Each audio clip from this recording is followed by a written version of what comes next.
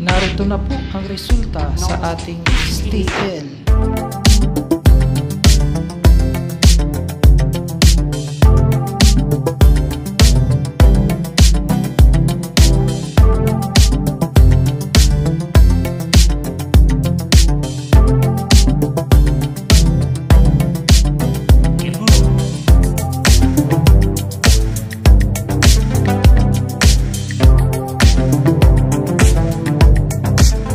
vestir el quesoncito.